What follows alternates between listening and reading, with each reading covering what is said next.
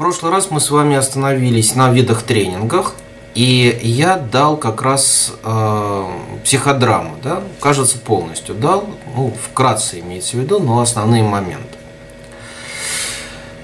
Теперь, пожалуй, давайте рассмотрим еще виды э, тренингов, а именно гештальт-группы. Кажется, я их не давал, да, гештальт-группа.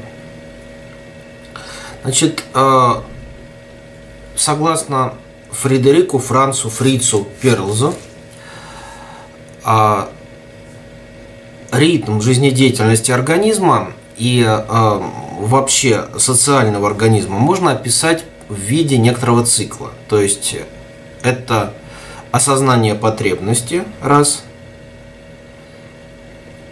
Второе – это завершение гештальта.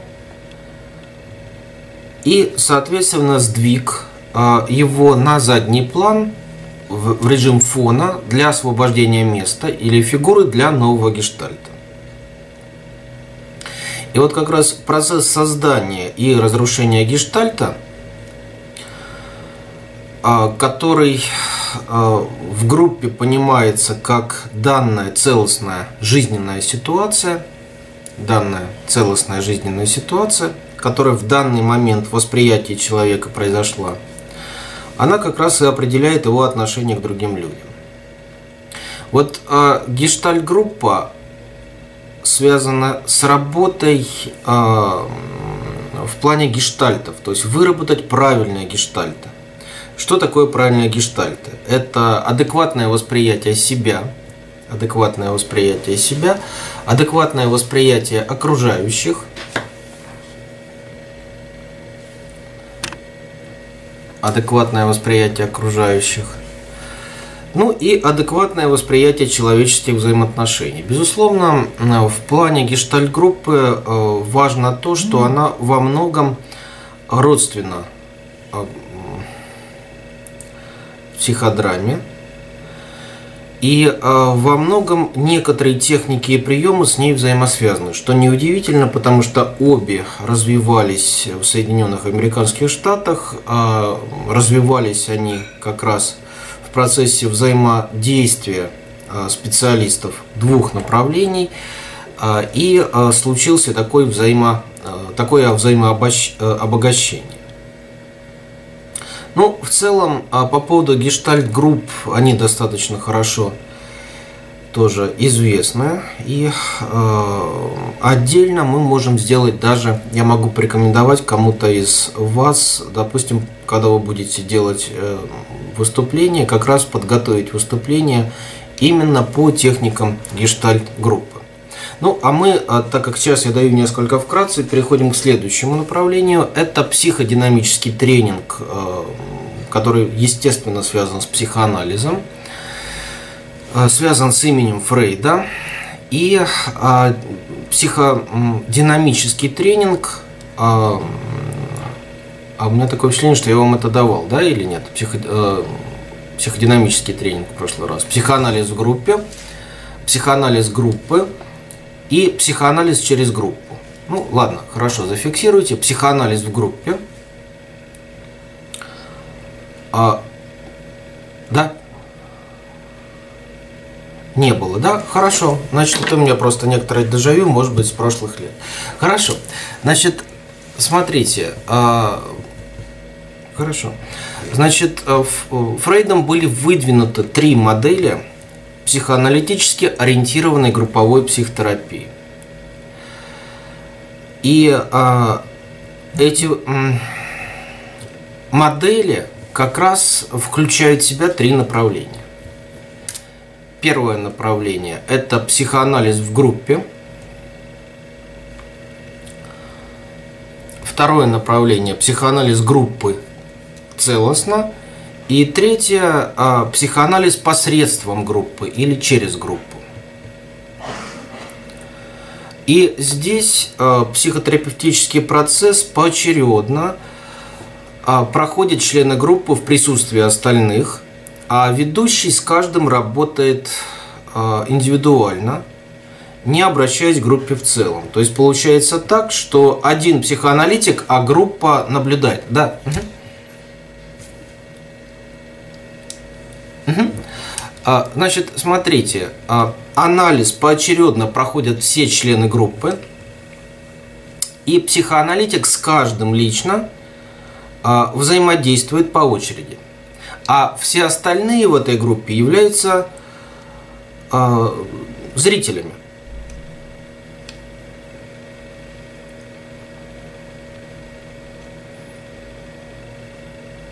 Но считается, что вот эти зрители это не просто пассивные зрители, а они э, в первую очередь включаются в этот психоаналитический процесс и сопереживают э, клиенту, с которым работает психоаналитик.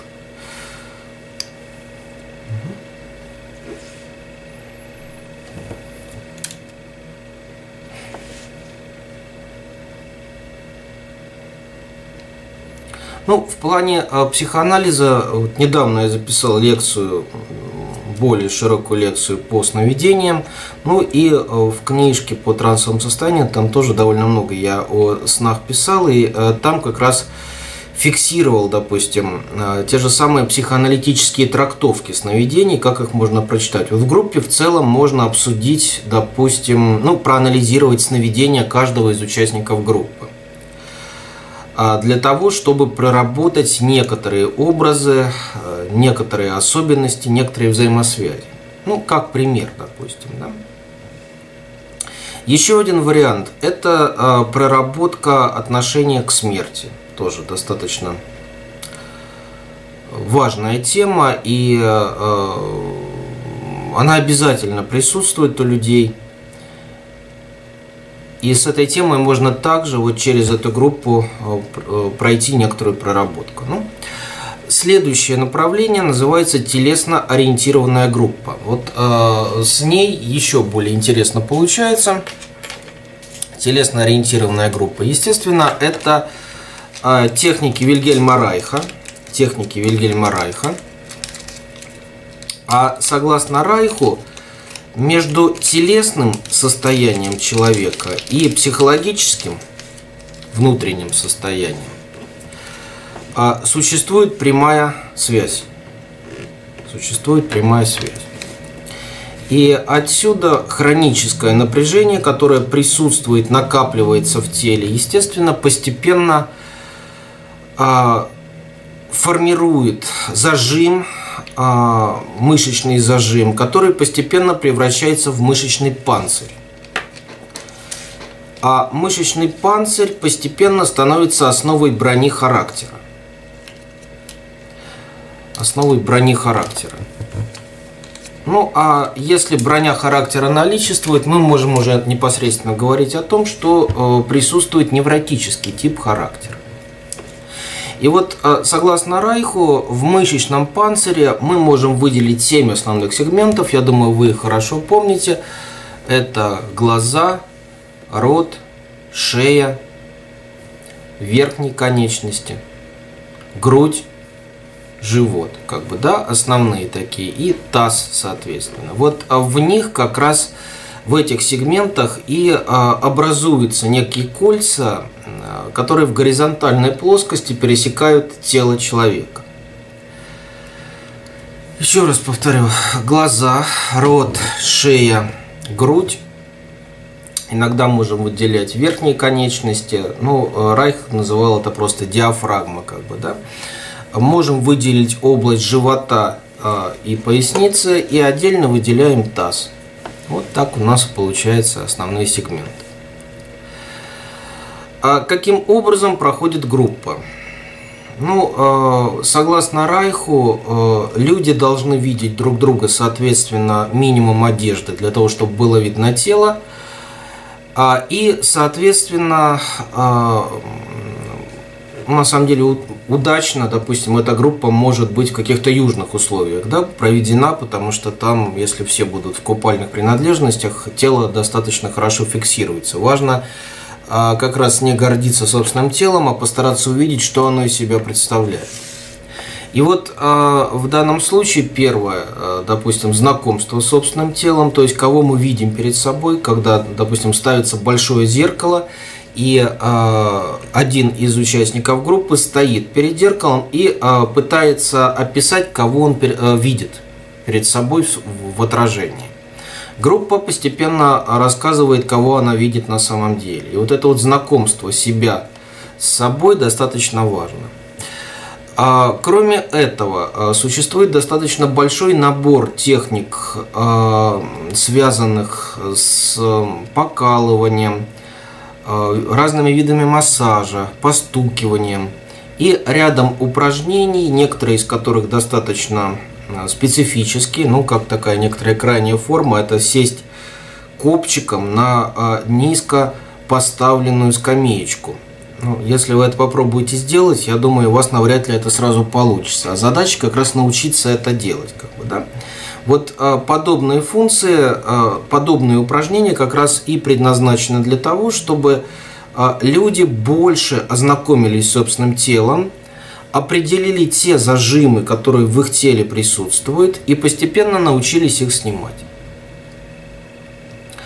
А дополнительными техниками э, в подобной групповой работе Райх предлагал как раз восточные методы. Это было и айкидо, это было и хатка-йога, и тайчи, то есть э, разные восточные техники. Ну и, естественно, в телесно ориентированных группах достаточно активно используется то, что было предложено Идой Рольф, а, Александером, Фельденкрайсом. То есть э, это как раз ученики и последователи Вильгельма Райха, кто продолжал заниматься телесно-ориентированной терапией. Но а о телеске у меня несколько лекций записано, я думаю, вы их слушали, поэтому здесь тоже мы можем немножко вкратце пройти. То есть основа на самом деле достаточно интересная, но для того, чтобы провести телесно а, а, группу, мы должны, во-первых, замотивировать участников и объяснить им, что это, собственно, знакомство с теми зажимами в теле, которые могут присутствовать. Но на самом деле они и так очевидны. Даже если мы не будем э, переодеваться в купольные костюмы, все равно эти зажимы обязательно присутствуют. Я всегда говорю, что то, что человек обычно закрывает э, какими-то элементами одежды, как раз и является его э, болевыми зонами. Допустим, капюшон явно будет говорить о воротниковой зоне, да, которая напряжена может быть. А, или, допустим, украшения у женщины и прочее. То есть та зона, где украшение присутствует, как раз и будет маскироваться этими украшениями. Но это вот как раз к телеске больше относится.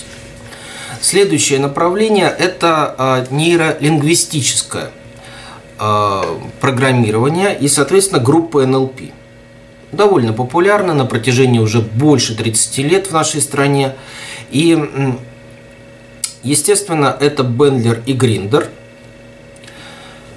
А, то есть это некий процесс моделирования внутреннего опыта человечества и межличностной коммуникации.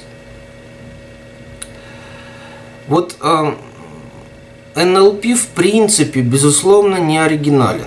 Если так брать, естественно, здесь э, оригинальным является эриксоновский гипноз во многом. А НЛП – это некоторое продолжение идей э, Милтона Эриксона, их, что ли, рационализация и выведение их в коммерческую такую основу. Но э, НЛП – это действительно некий инструмент, который достаточно неплохо работает а, в бизнесе. И в ряде случаев его можно применять и в образовательных а, целях. Но, повторюсь, допустим, по классификации Макарова это краткосрочная терапия, Функция, которая заключается в том, чтобы заставить человека сделать конкретные действия какие-то, принять определенное решение. На сим вся его а, деятельность и завершается. То есть это несколько поверхностно. Но, а, допустим, согласно Бендлеру и Гриндеру, а, школьники не успевают потому, что у них не совпадают репрезентативные системы. То есть, если для визуала дать материал согласно а, восприятия визуала, обучение будет более успешно. Для аудиала, соответственно, аудиальное, для кинестетика кинестетическое. Ну, третье самое интересное, да, каким образом вы будете давать математику кинестетику. Наверное, поколачивая его, поглаживая его, я не знаю, там, Вот э, очень сложно это представить, что вы должны делать с учеником. Мне кажется, это будет не совсем корректно в любом случае. Но вот, по крайней мере, э, при помощи некоторых техник, а именно речи, именно некоторых фраз, э, в том числе кинестетических, да, мы можем настроиться на ведущую репрезентативную систему отдельного человека. А учитывая то, что часто эти системы э, сдвоены, да, мы можем, в принципе, под них неплохо подстраиваться. Кстати, что-то подобное, подобная идея была взята у Михаила Бородянского в его методе ТВ-80 и как раз э, методе цветовых векторов, в котором тоже э, человек должен подстраиваться под основной э, один из десяти векторов восприятия человека и так, клиента, и тогда, в принципе, клиент совершает то действие, которое требуется от знающего теории векторов. В целом, действительно, все, что связано с НЛП, очень популярно и довольно много литературы по этому есть. Ну, та же самая книжка э, Григория Горина «А вы пробовали гипноз», классическая, она больше 20 лет известна, и в ней как раз подробно описаны подобные семинары. Если будет интересно, можете посмотреть, как они происходят. Но я не считаю особо нужным на этом сейчас останавливаться, потому что в целом наша задача а, посмотреть а, другие виды а, тренингов, дополнительные виды тренингов. Как бы, да? Я поясню, что для каждого направления, для каждого вида тренинговой работы мы можем взять определенную школу. А если вы будете создавать некоторый тренинг, допустим, для старшеклассников, естественно, вы можете взять несколько направлений из разных школ. Это будет более уместно и более целесообразно. Запишите, что э, принято выделять 5 основных видов, 5 э, основных видов социально-психологического тренинга.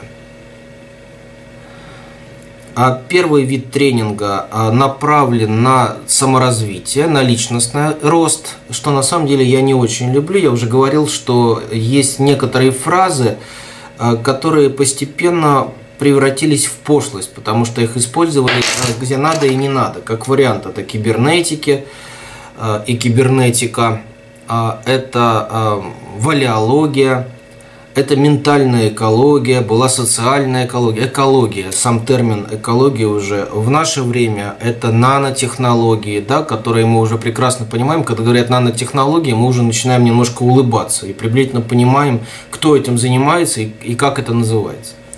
То есть в целом а, вот то же самое а, тренинги личностного роста. Использовались они достаточно активно совершенно в разных сферах и подставлялись под этот термин совершенно разные виды деятельности. Поэтому, когда мы говорим личностный рост, вот и вы встречаете, допустим, название где-то тренинги личностного роста, наверняка вы уже тоже немножко будете а, более скептично к этому относиться, потому что надо внимательно посмотреть, с чем они связаны.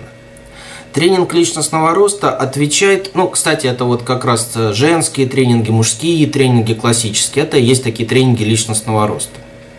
иногда под эти тренинги включают э, всевозможные э, эзотерические техники, восточные техники и прочее. И вы должны прекрасно понимать, что же это такое? Под личностный рост мы можем, кстати, включить и вот э, на четвертой фазе Луны речку в ухо и в позе льва, как бы, да, вот 10 минут. Вот э, приблизительно это тоже личностный рост для кого-то. Поэтому в данном случае мы должны прекрасно понимать, тренинги личностного роста, они э, связаны с общением я-я, то есть общение личности с личностью. И когда происходит общение личности с личностью, происходит развитие. Для этого ведущий, а именно тренер, должен быть достаточно э, интересным человеком, который может что-то рассказать важное для человека. Лично с ним. Остальные в данном случае будут только зрителями. Кстати, сегодня я об этом уже говорил, да, это как раз э, психоаналитическая модель, где э, тренер подходит к каждому участнику и работает с ним, а остальные наблюдают. Здесь немножко похоже, да, я-я. То есть это некоторая, может быть, такая даже сугестивная установка, когда присутствует сугестр, который дает некоторые внушения а, отдельному человеку. Но вот это достаточно важно. Повторюсь, таких тренингов достаточно много, но нужно обязательно внимательно смотреть, кто является Э, как сейчас принято говорить, спикером, кто является ведущим и что же он хочет донести до людей, какие цели он ставит в своем тренинге. Вот это важно. Второй вид э, социально-психологического тренинга – это «я-другие». Ну, с этим все проще. Это навыки межличностного общения. Тренинги межличностного общения могут быть как на родном языке, так и на, на иностранном или на иностранных языках – и могут быть связаны с разными техниками, от примитивного пикапинга, заканчивая достаточно серьезными взаимодействиями друг с другом. Или, допустим, процессом а, групповой динамики и решения каких-то вопросов в группе. Вот, допустим, когда вы наблюдаете за знатоками в передаче «Что, где, когда», вы волей-неволей сталкиваетесь с тем, что они действуют слаженно, часто слаженно. Да? Вот это как раз то самое «я-другие», то есть это хороший опыт межличностных отношений. Это то, чему можно учиться. Вот э, на некоторых съемках, когда я присутствовал, я э, наблюдал за КВшниками КВНщиками. Мне очень э, нравилось то, вот, допустим, возникает какая-то ситуация, и они как-то слаженно, быстро, несмотря на то, что один в одном конце студии, другой в другом, переглядываются и быстро дают определенную какую-то реакцию в виде шутки. Вот я обычно говорю, моя шутка секунд через 10. Они на второй секунде дают шутку. То есть вот наше различие, я в этом плане эстонец. Да, вот а, у них это действует слаженно, это уже наработка. Может быть, наработка, связанная как раз с игрой КВН. Но на самом деле это очень важно. Умение правильно а, взаимодействовать друг с другом. Действительно, это бесценные навыки. И когда мы говорим о а, создании, да, а, групп, о формировании групповой работы в компании, это как раз сюда. Это дорогого стоит. Следующее направление социально-психологического тренинга – это «Я-группа». «Я-группа». Это тренинги, которые развивают способы общения конкретной личности с э, определенной группой – А при этом эта группа должна быть своей. Это не означает, что, допустим, э, это общение рязанского мужика с алиутами. Да? Вот в данном случае речь идет о том, что человек считает, что это его группа, но он должен научиться так излагать информацию и так воздействовать, чтобы его стали слушать а, и выполнять его требования. То есть это, безусловно, тренинги, связанные с управленческой деятельностью. Это действительно важно – это а, ораторское мастерство, которое сюда однозначно подходит, и это тоже тренинги.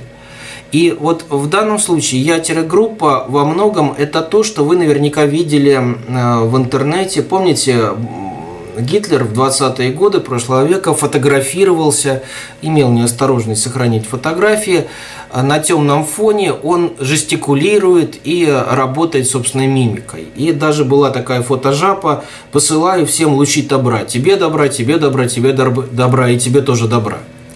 Вот, а, наверняка вы видели это. Но если а, хотите увидеть, забейте в интернете «Посылаю тебе лучи добра. Гитлер» и сразу увидите эти фотожапы. Вот в целом это как раз умение воздействовать на группу. Действительно, это очень важно, потому что не каждый это может сделать. А многие, когда начинают выступать перед группой, начинают сразу несколько э, тушеваться, пасовать, э, переживать, чувствовать себя неуверенными. То есть немножко не та конструкция получается.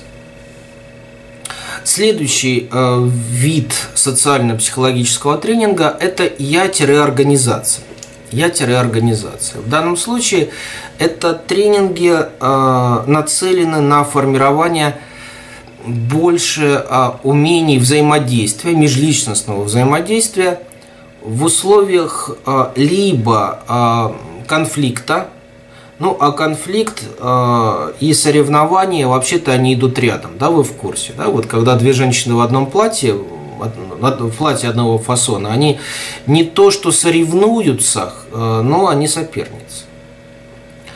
А, и это конфликт. когда два мужика в одинаковых костюмах, это радость. Для них это радость, безусловно, потому что, ну, вот им, честно говоря, абсолютно все равно. Вот. А для женщин это, да, это будет конфликт. Вот. А в ряде случаев это и а, необходимость взаимодействия, кооперации определенной, а может быть даже синергии такого взаимодействия в организации. То есть это тоже очень важные навыки, и а, здесь обратите внимание, а, подобные виды тренингов начинаю как раз с некоторых э, специфических тем. Любят проводить сектанты со своими же адептами. Любят проводить представители зарубежных компаний со своими сотрудниками. Ну и наши тоже, естественно, сейчас уже недалеко от них ушли, тоже часто повторяют подобные темы я и организация, как бы, да, то есть это некоторая принадлежность к определенной группе, корпорации, организации и так далее.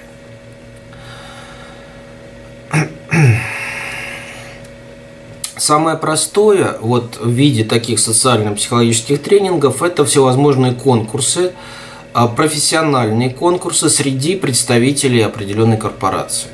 Ну, вот самое простое, пироговские чтения во втором медицинском университете, то, что мне сразу приходит, как бы, да, вот, э, вот та же самая история. Но на самом деле в каждом университете подобное есть. Вот э, именно э, виды соревнований, которые мы можем назвать социально-психологическим тренингом, которым он, собственно говоря, и является – Наконец, последнее. Это я-профессия. Еще один вид социально-психологического тренинга – я-профессия. То есть это тренинги, которые более нацелены на исследование проблем, а, которыми человек занимается, и а, усвоением тех ролей, которые он профессионально должен выполнять. Ну, я-профессия – это Какие э, могут быть здесь тренинги?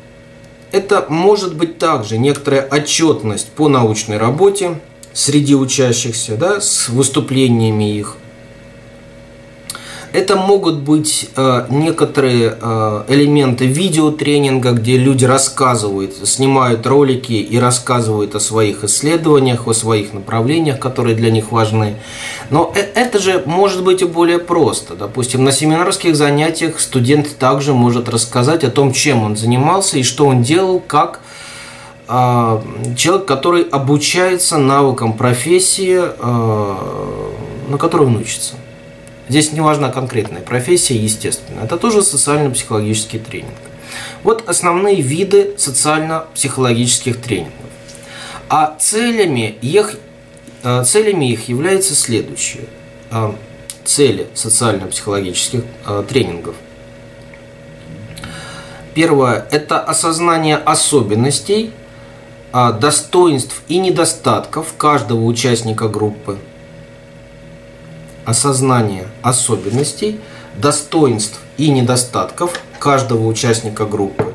Это действительно важно, потому что в целом а, у людей присутствует небольшая ошибка. Им всегда кажется, а, помните, как у Кисы Воробьянинова, по-французски «je не mange pas по-немецки «ну я-то знаю», а по-русски «господа» и так далее. «Я не ел шесть дней». Кстати, французы а, часто у русских спрашивают, почему русские так часто говорят зачем-то им, что они не ели 6 дней. То есть они не видят никакой связи. То есть как только русский узнает, что это француз, он почему-то ему говорит, что он не ел 6 дней.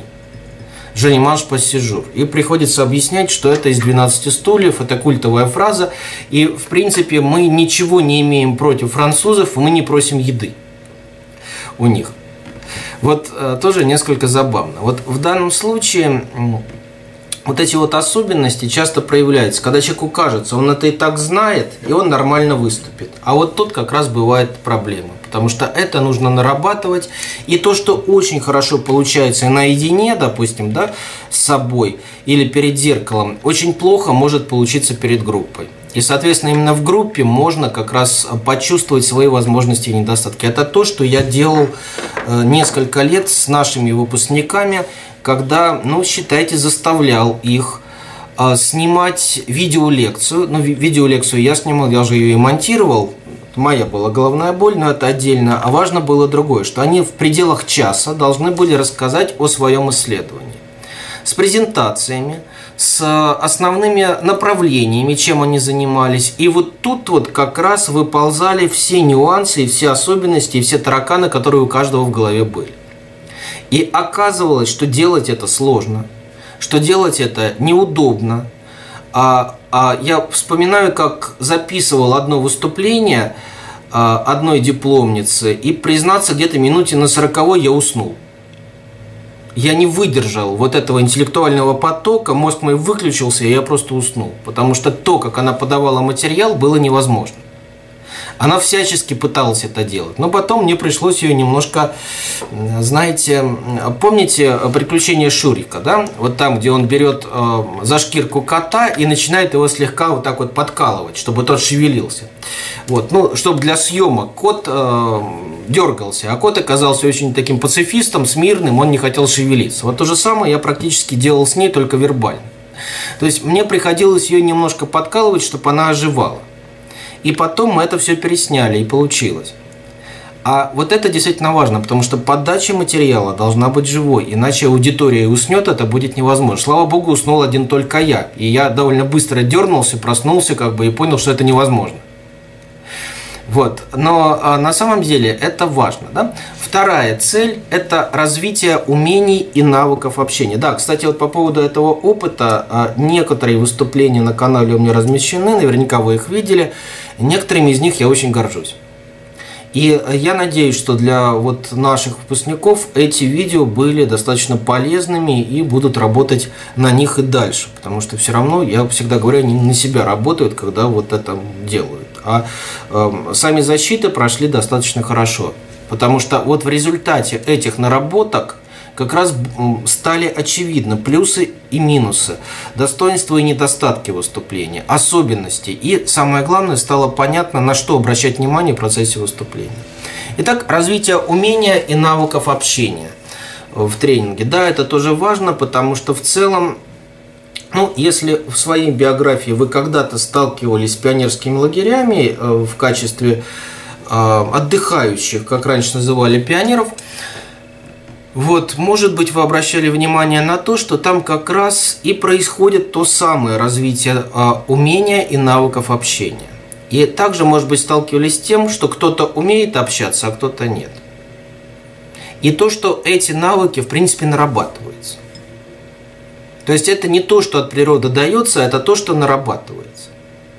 Следующее – это сплочение группы, а, происходит в результате социально-психологического тренинга и усваиваются нормы, правила поведения. То есть постепенно этот тренинг а, формирует группу. И это действительно так. В любых тренингах, которые проводятся, в любых тренингах, которые проводятся а, на протяжении нескольких ну, некоторого времени мы сталкиваемся с тем, что люди постепенно привыкает к этой группе, начинает воспринимать участников группы частью своей практически семьи, и потом достаточно серьезно переживают, э, когда группа ну, распадается после того, как завершается проведение этой группы. Даже такое бывает, и это, кстати, достаточно интересно. Это, кстати, достаточно интересно. Вот. А, но очень важно, что в принципе а, тренинг действительно очень хорошо помогает людям а, понимать, кто они в социальном пространстве, как они могут воздействовать на это социальное пространство и как социальное пространство может воздействовать на них. Поэтому насколько тренинг хорош или плох, вот когда говорят, психологи пришли, они будут проводить тренинги. Ну, в некотором плане да, потому что тренинг – это обучение, и действительно мы обучаем людей. Но я бы даже больше сказал. Вот когда э, студентов или аспирантов просишь прочитать лекцию для группы, для них это тоже тренинг.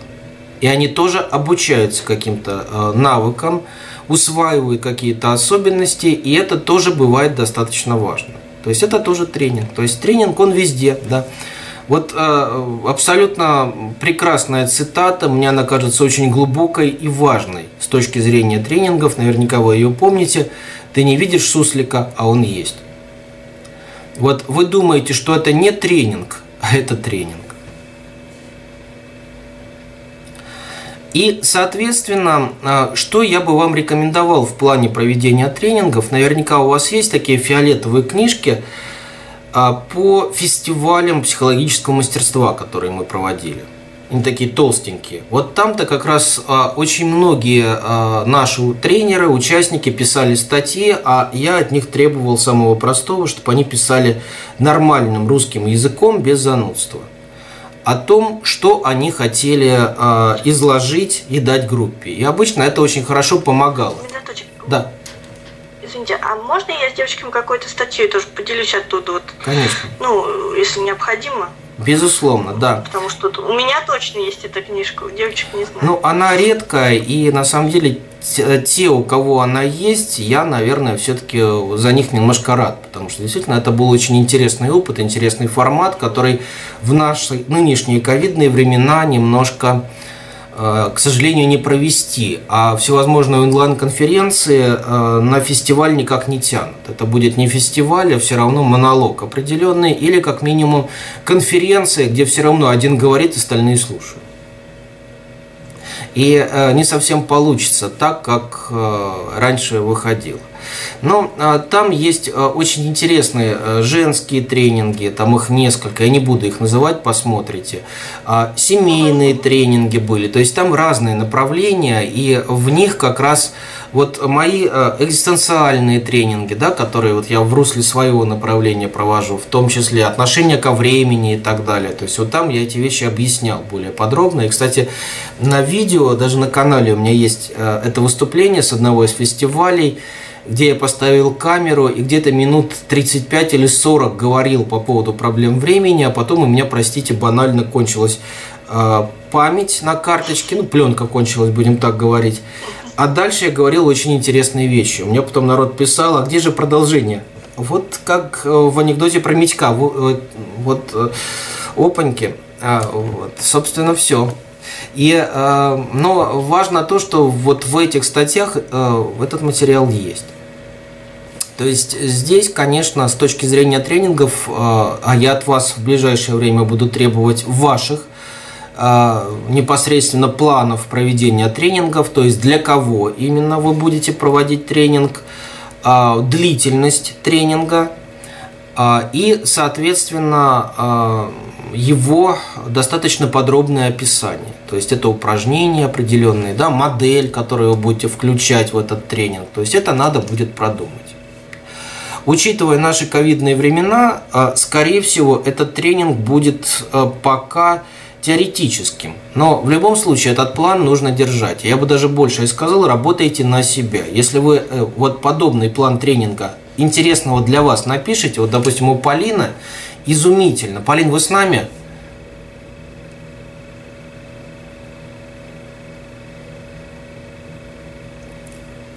Да, с вами, с вами.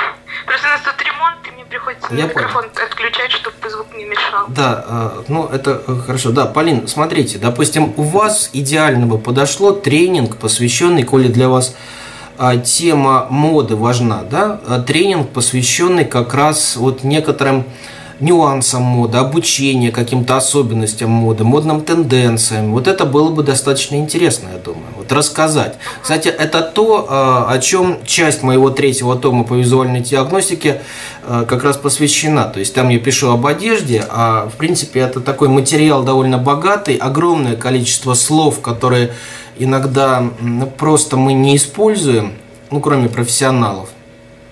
С другой стороны, а, достаточно интересные темы, интересные вопросы, и мы все равно с этим волей или неволей сталкиваемся. Это касается и истории одежды, да, а я вот там больше объясняю характер человека, который выбирает определенные типы одежды. То есть я иду немножко от обратного. Но с другой стороны, у вас это тоже очень близко, поэтому вот как один из вариантов, пожалуйста, можно было бы вот такую тему выбрать.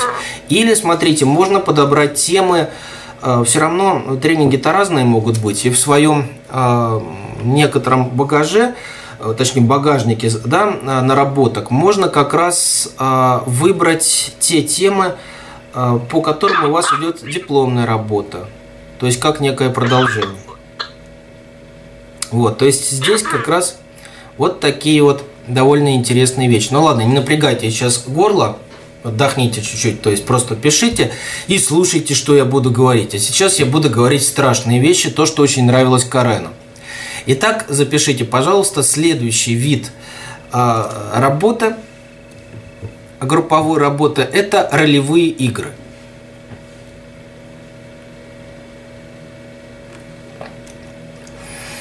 А ролевая игра обычно включает в себя наличие задачи или проблемы и распределение между участниками как раз ролей. Задача или проблема и распределение ролей между участниками. Ну, а как называется приблизительно вот подобное распределение ролей, о чем мы с вами на прошлых занятиях говорили? Вспоминайте сразу, какие виды тренингов подобного типа есть.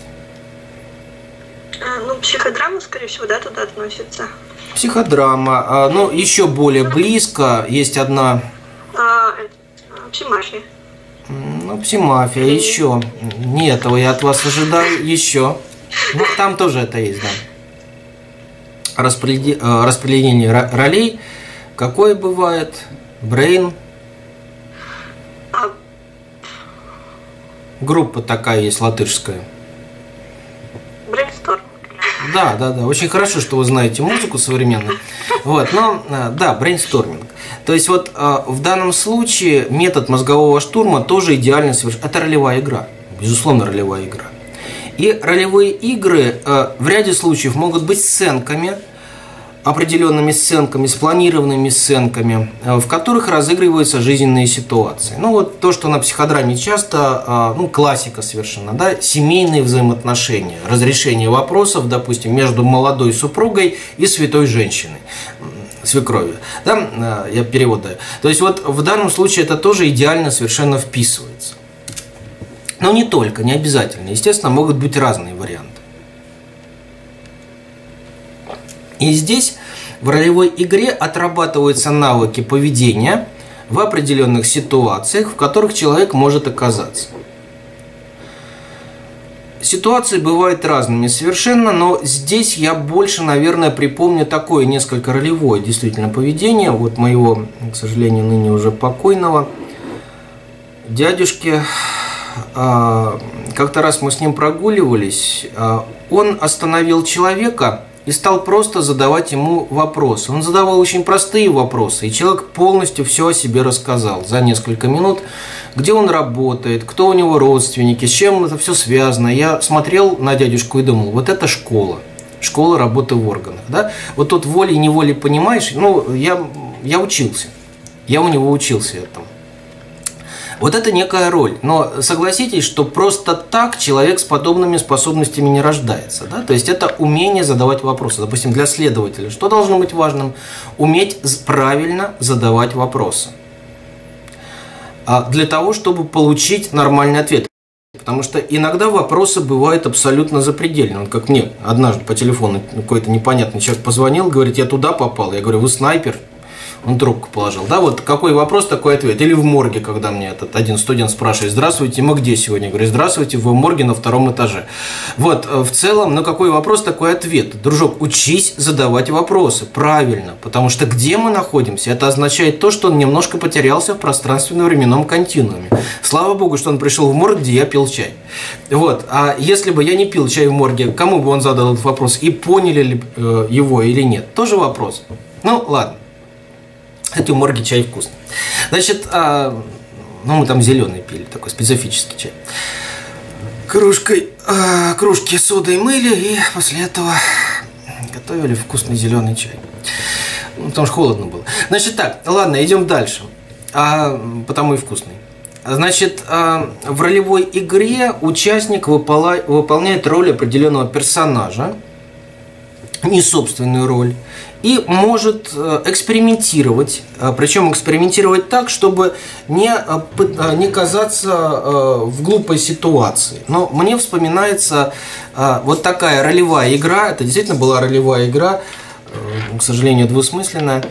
Вот, как одна у нас участница наших кружков оделась в достаточно такую специфическую одежду, ну, не халат, что-то подобное было на ней одето, вот, и она играла роль э, психолога-консультанта, а напротив нее сидел молодой человек в качестве клиента. И она как-то так вот села, э, очень специфично села, что молодой человек попробовал вместе со стулом от нее начать отползать.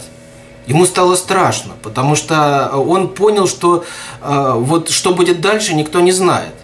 Мы сидели, мы, ну, мы не то что смеялись, но мы забавлялись по полной программе вот этой сценки, потому что она настолько его напугала. То есть э, он явно понял, что э, он ей нравится. Наверное, так это называется. А она абсолютно не поняла, просто она как села, так села. То есть ей даже в голову не пришло, что она что-то не то делает. Ну, какую одежду выбрала, так вот и получилось. Но дело не в этом. Вот смотрите, вот эти вот роли, они действительно достаточно э, специфичны бывают. И а, вот а, то, что отличает ролевые игры от других, это то, что в ролевых играх мы не оцениваем. Системы оценок нет.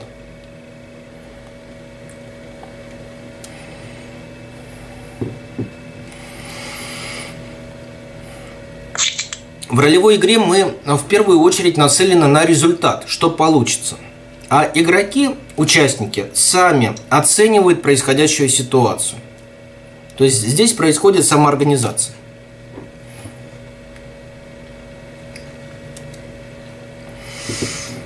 А ролевая игра не прерывается для обсуждения результатов, это тоже важно –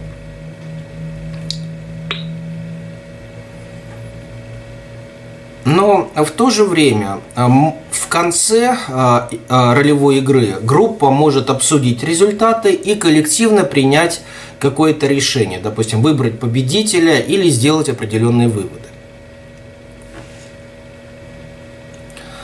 Но чаще всего, где ролевые игры встречаются? Давайте вы мне лучше сами расскажите. Это не то, что Карен думал, я сразу говорю. Значит так – Где ролевые игры бывают?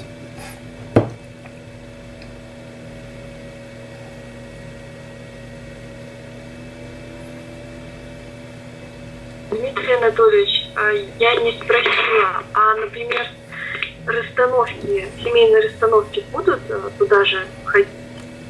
в эту категорию. Семейная расстановка немножко подразумевает под собой а, наблюдение и контроль, больший контроль. Поэтому это не совсем а, ролевая игра. Ролевая игра, она в данном случае более свободно оказывается. То есть э, э, семейные расстановки, они идут где-то вот посерединке. Но, повторюсь, ролевые игры в чистом виде более интересно оказываются в данном случае. Где ролевые игры бывают? Коллеги, ну подумайте. Ну вы в детском саду когда-нибудь были? Ну кто-то из вас хотя бы? Я нет. Хорошо. Но какие ролевые игры в детском саду? Страшно представить, да? Насколько стал испорчен мир. Значит, смотрите, все очень просто. Вы когда-нибудь были на детских утренниках? Ну, в начальной школе. А, празднование Нового года, где приходят э, Дед Мороз, Снегурочка, Баба Яга и прочее. Это и есть ролевые игры. То есть первоначально ролевые игры носят развлекательное значение. Конкурсы всевозможные, в которых необходимо сыграть определенную роль, допустим, роль князя там и так далее, да, это уже ролевая игра в чистом виде. И в данном случае ролевая игра носит развлекательный характер, иногда носит э, драматический характер, э, и э, участники э, должны либо э, действовать в соответствии с определенным сюжетом, либо, что чаще всего происходит, ну, э, в некотором плане э, импровизировать. И в этом вся прелесть, потому что ту же самую банальную бабу-ягу, которую я называю, да, женщина с высшим образованием и сложной судьбой, каждый, эм, каждая актриса сыграет немножко по-своему. Потому что играет ты немножко себя, и получается совершенно по-разному. И вот в этом прелесть, что будет все равно элемент импровизации. И даже если вы посмотрите, допустим, наши два замечательных фильма «12 стульев», и там увидите, казалось бы, да, все прописано по книге, и все равно абсолютно разные Остапы Бендеры, абсолютно разные персонажи в ряде случаев, и э, есть некоторая свобода для творчества. Одна прелесть, вот эта киса, спрашиваю вас, как художник художника, вы рисовать умеете, вот э, это то, чего в книге нет. Нет. В книге не было следующего. Какая прелесть. Интеллигенция отрывается от народа и падает в пропасть. Это там, где киса Воробьянинов падает в оркестровую яму, пытаясь схватить стул. Да? То есть вот, э, вот этой прелести, в принципе, в книге нет. Но что самое главное, все равно гениально э, отснято, гениально сыграно. И вот э, это стало действительно классикой. То есть это возможности некоторые для импровизации. Именно в ней это вся прелесть. То есть игроки могут свободно импровизировать, а, и в некотором плане даже влиять э, на определенный результат данной игры.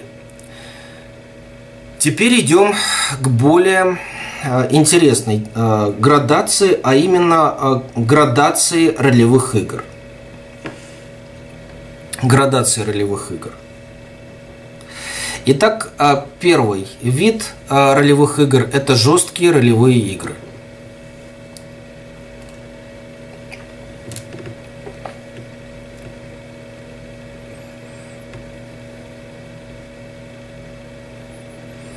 Уже из названия понятно, что это не садомаза, а в первую очередь это связано с тем, что каждый шаг игрока жестко, строго фиксируется.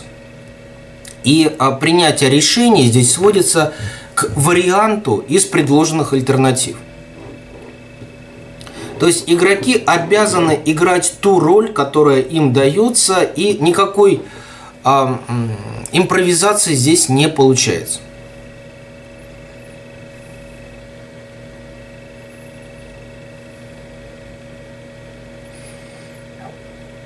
Ну, допустим, роль Гамлета. Да, я понимаю, что у каждого актера Гамлет будет немножко свой, но с другой стороны, именно жестко, совершенно прописана роль, которую необходимо сыграть. И в то же время каждый немножко по-своему играет эту роль. А второй вид – это свободные ролевые игры или имитационные игры –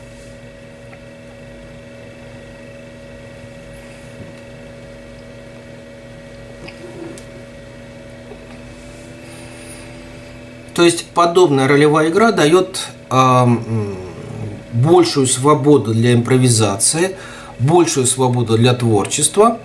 И очень важно, что э, участники вообще-то не ограничены в определенных способах э, решений проблемы э, и целей. То есть они могут придумывать что-то свое, импровизировать что-то свое вот эти свободные ролевые игры, они часто бывают очень интересными, и э, в психодраме они явно присутствуют. Именно в психодраме.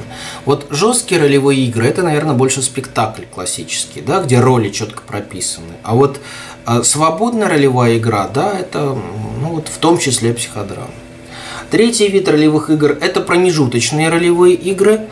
Они в целом э, позволяют нивелировать некоторые ограничения, свойственные как для жестких, так и для свободных игр.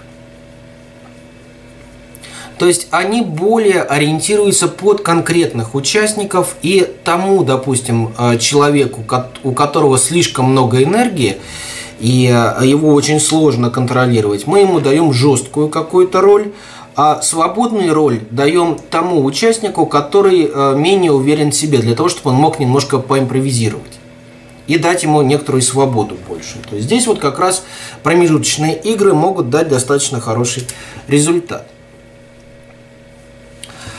Ну, а теперь давайте рассмотрим, ну вот а, по поводу ролевых игр мы а, обыгрывали такой сюжет как-то раз. А именно это разрыв отношений между Юнгом и Фрейдом. Мы играли это на сцене. Там фигурировала Сабина Шпельрейн, там был Йонг и Фрейд. И вот это надо было обыграть так, чтобы показать, в чем именно конфликт. Мало того, мы обыгрывали это в нескольких вариациях. Несколько вариантов интерпретации было.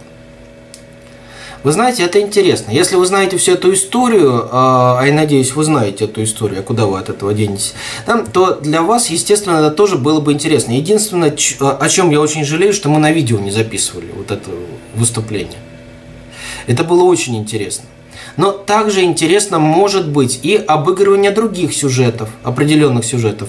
Похожий на этот сюжет, допустим, смотрите, взаимоотношения между э, Каплан, Крупской и Лениным что тоже у нас было, но это тоже интересно и тоже на видео не было записано. Вот как эти взаимоотношения, да, можно обыграть, а ведь можно и нужно, потому что время-то шло другое совершенно. Это было, в принципе, в порядке вещей, они же были подругами. Да, но э, момент был достаточно важный. Есть некоторые э, интересные особенности взаимоотношений между людьми, которые в группах можно обыгрывать, в том числе вот когда даются определенные роли. А, теперь, а, каким образом подобная игра подготавливается? Ну, первое, давайте запишем. Условия для а, подготовки ролевой игры. Первое, ну, самое, казалось бы, очевидное условие, но не столь оно очевидно, как кажется. Игра должна быть для обучающихся интересной и значимой.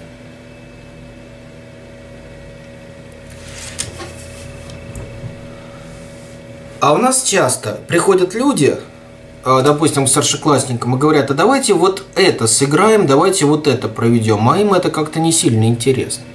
То есть надо сначала найти определенную значимую тему для участников. А, второе. Необходимо подобрать ситуации, которые могут быть разрешены в рамках занятий. Да, коллеги, о чем я сейчас опять не а, упоминал, а упомянуть стоит. Опять возвращаемся к телевидению, к телевизионным передачам. И скажите мне, пожалуйста, в каких телевизионных передачах наличествуют ролевые игры? Где жесткие ролевые игры, где а, как раз ролевые игры а, свободные, а где промежуточные? Ну, давайте вспоминаем. А, когда-то мы с вами даже на, на доске рисовали, да, вот все, ну, наиболее популярные передачи на телевидении, поэтому давайте подумаем. Что вы вспоминаете?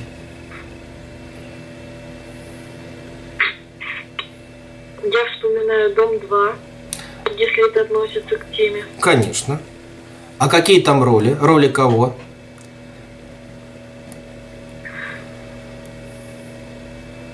Там свободные, такие свободные игры. Угу.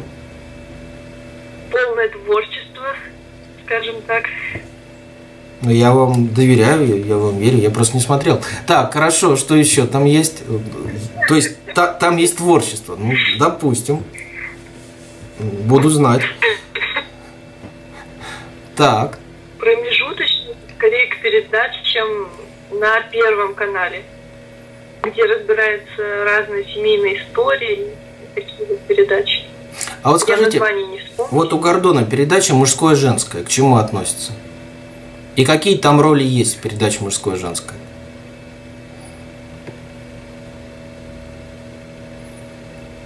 Я предполагаю промежуточная. Промежуточная. А, да. Но роли там однозначно есть, да?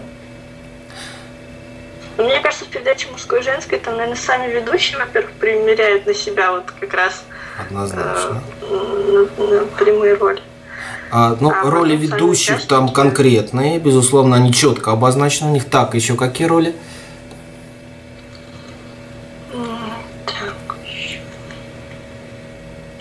Там есть протагонисты, а именно участники да, передачи, которые ну, кто-то является свидетелем, а кто-то является, ну, практически ответчиком, да, и вот рассматривается какая-то душещипательная проблемная проблема, э, проблема, такая проблемище, которую как раз вот надо обсудить. И сначала э, показывать, что же там произошло, после этого слова дает либо э, свидетелям, либо участникам всего этого происходящего, потом все это обсуждает. Иными словами, ролей там несколько. Да? Это участники или протагонисты, это ведущие, которые действительно более здесь выполняют такую фрейдовскую роль.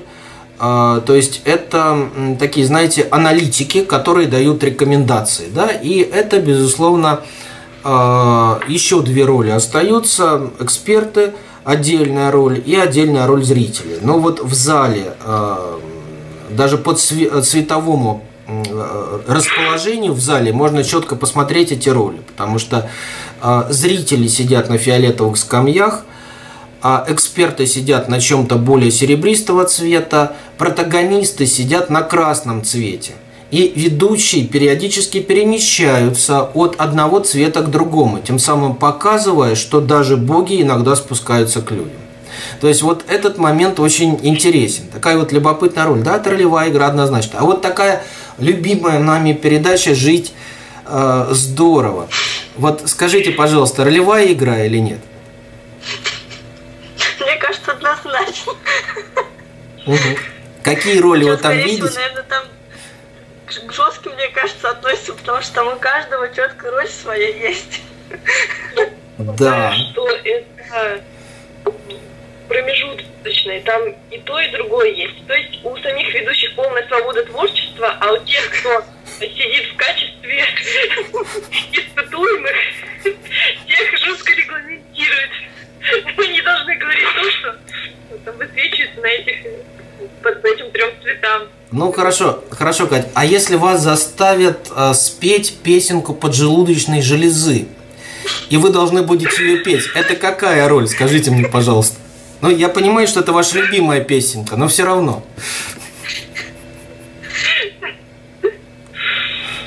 Это творческая роль, да. Свободная. Свободная. Ну, э, свободная это не, своб... не свободная, опять придется. Дали роль, поэтому выполняйте. Вот вам слова, э, вставайте и пойте. Да, приблизительно так это должно выглядеть. Поэтому здесь это жестко регламентировано. Но некоторая свобода наличествует. Поэтому данную передачу мы больше все-таки, наверное, отнесем к промежуточной игре. Хотя это тоже игра. И вот обратите внимание, обычно телевизионные шоу строятся по принципу игры. Почему? Потому что игры – это то, что любят не только животные, но и люди. И люди любят игры с детства практически до э, крематория. А почему они это любят? Потому что это форма времяпрепровождения. Пожилые люди тоже любят играть. Даже их взаимоотношения, их э, контакты, их общение – это тоже игры, безусловно. И в данном случае Эрик Берн абсолютно точно говорил, да, что это игры. То есть очень многое в общении между людьми построено на играх. Получается именно так. И вот э, ну хорошо, а скажите, пожалуйста, вот э, новостная передача, новости, это игра или не игра?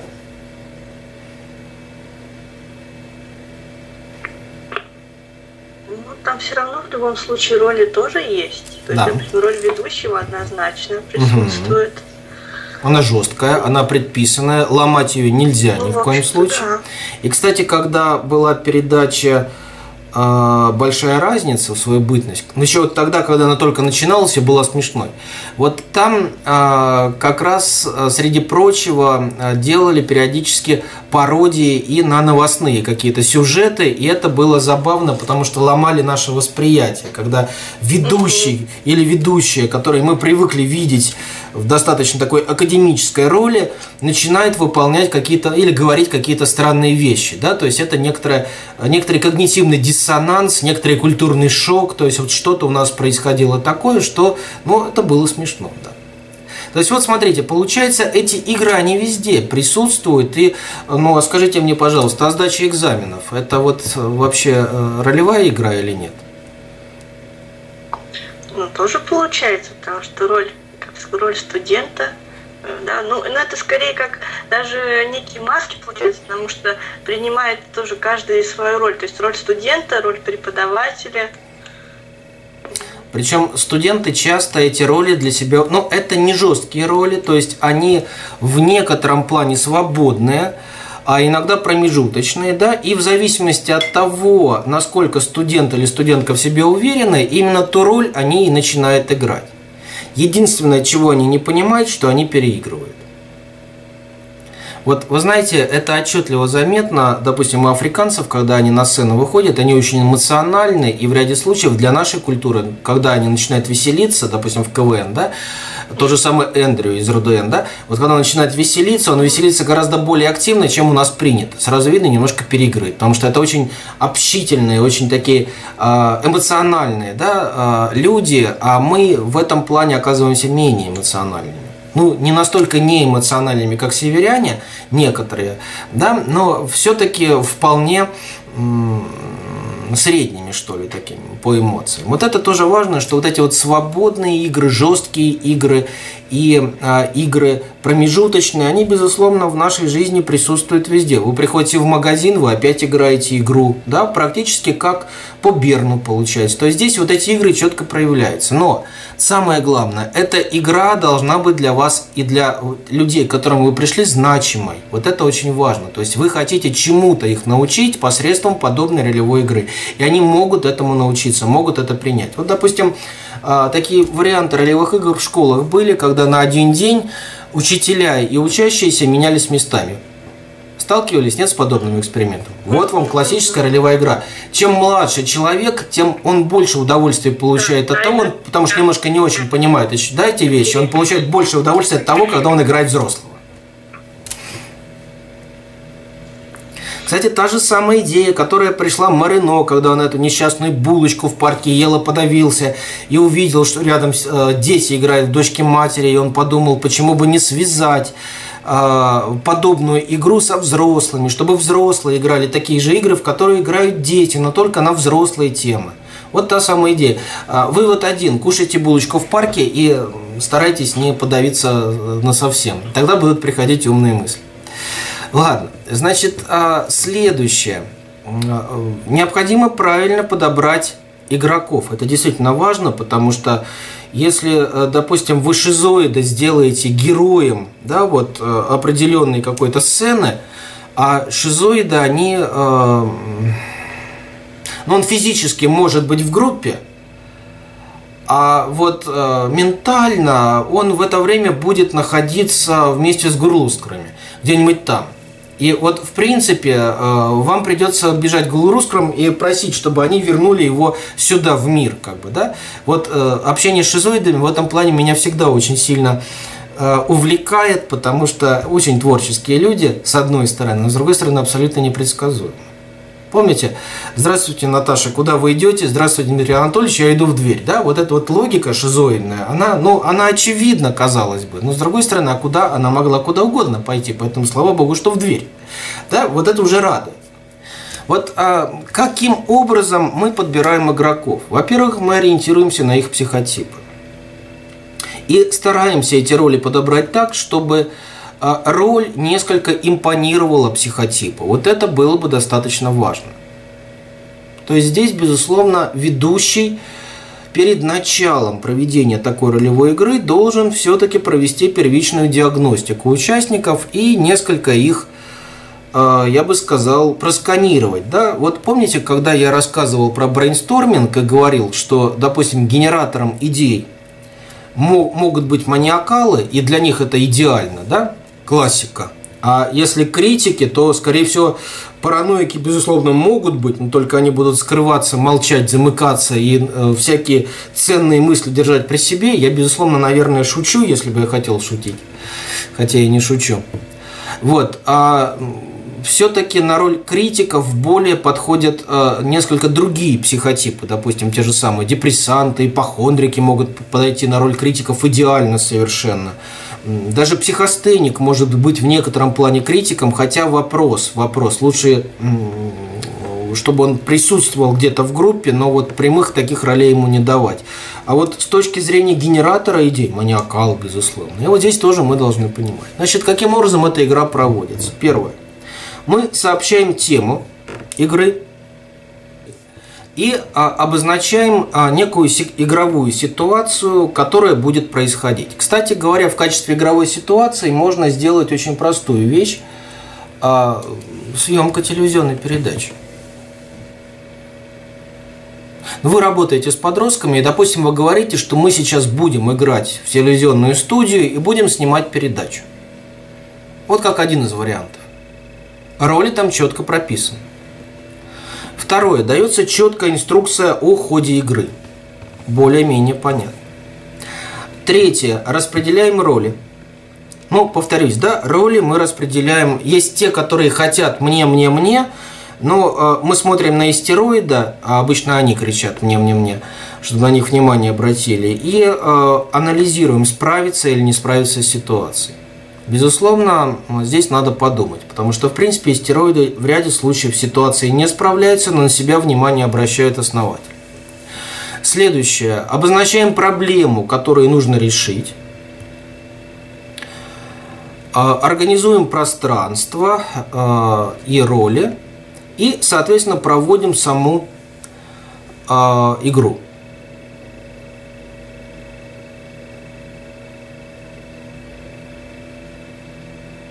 Ну, э, мой опыт э, участия в разных телевизионных программах в этом плане достаточно интересный. Всегда очень любопытно наблюдать, как человек, который идет из-за кулис, а, выходя на сцену, а, там, где софиты яркие, да, а, сразу преображается. Вот это секунды преображения, они радикально меняют того человека, которого ты до этого наблюдал совсем по-другому.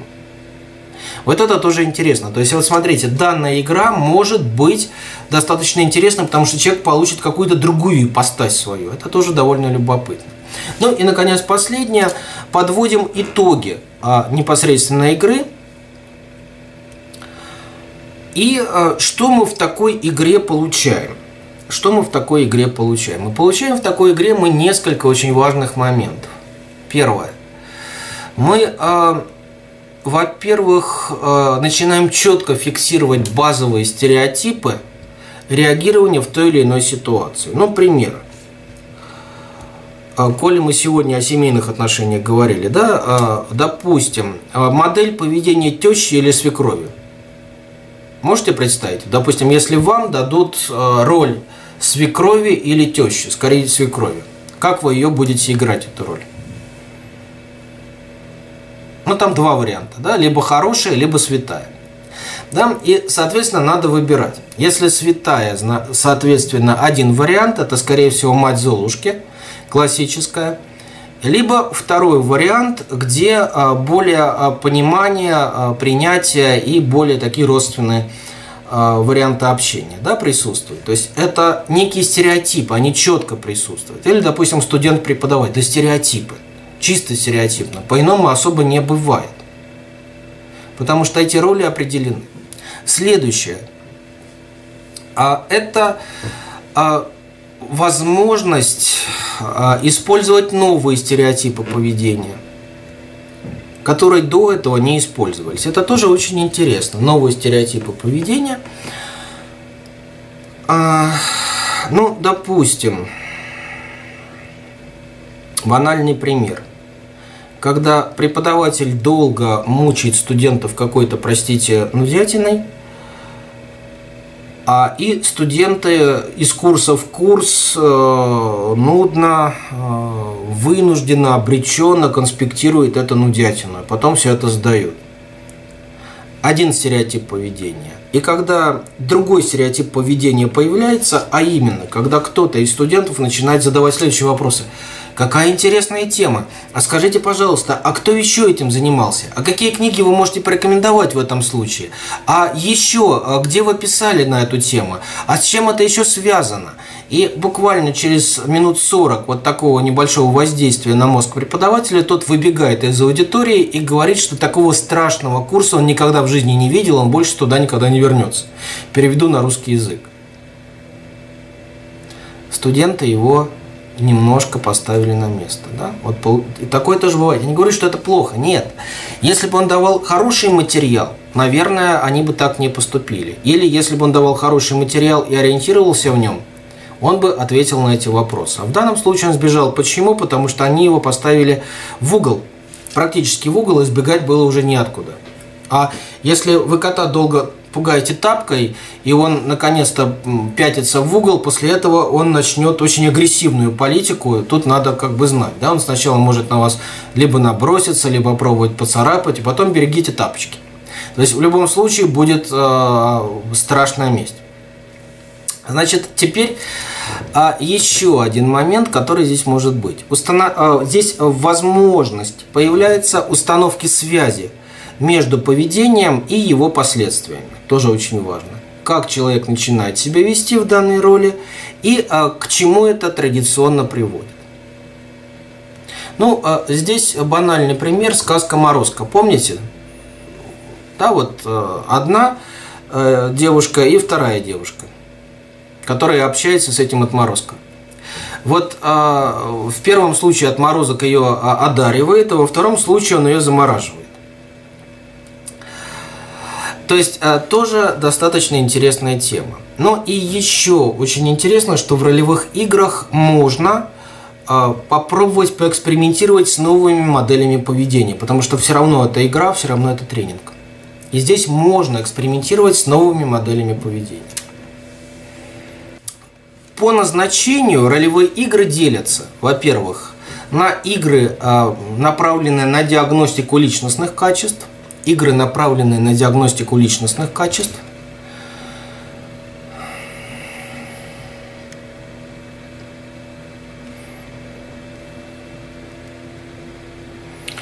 Второе. Направленные на развитие коммуникативных и организаторских качеств.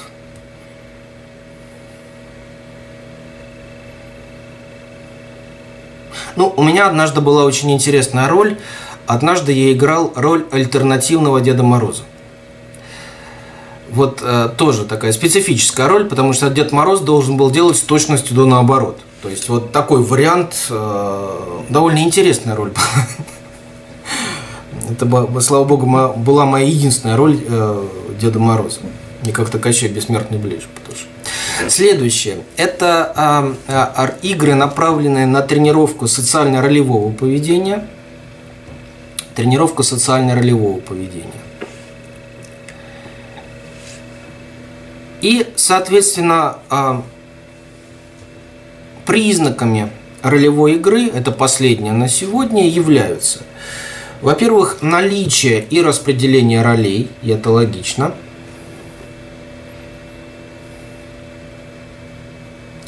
а там, где появляются роли, распределение ролевых целей. Распределение ролевых целей.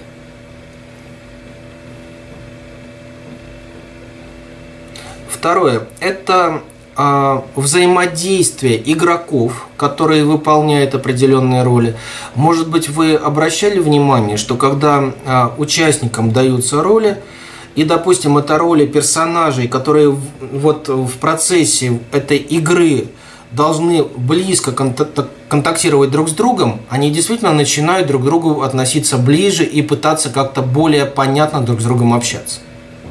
То есть дистанция между ними сокращается в данном случае. То есть роль, если в роль входит вот эта некоторая близость э, понимания, она немножко сокращает дистанцию при общении даже между незнакомыми людьми до того. Следующее. Наличие общей цели у игроков – но вы знаете, вот э, такой вариант ролевой игры э, идеально совершенно прописывается. Помните фильм «Чародеи»? Да у нас много таких фильмов по Шварцу. Да? Вот э, если по Шварцу, а если чародеи, это отдельная тема. Вот вам, пожалуйста, некоторая импровизация, некоторая альтернативная модель, по которой мы как раз фиксируем поведение. Следующее а, это э, возможность разных вариантов решения проблемы. Возможность разных вариантов решения проблемы.